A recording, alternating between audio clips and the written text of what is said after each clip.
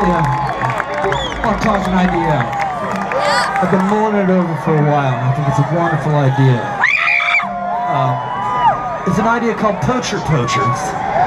So here's what I do: I hired Blackwater using other people's money, uh, Kickstarter. Have you got that's that other people's money, right? Okay. Um, uh, you're other people. You're, you're obviously not me. So you must be other people. I take that money, hire a evil old Blackwater to go out to Africa and kill poachers. Turning guns. You know?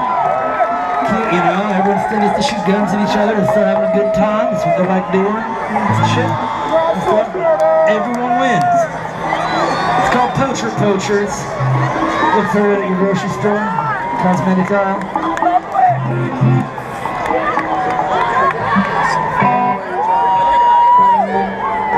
Yeah.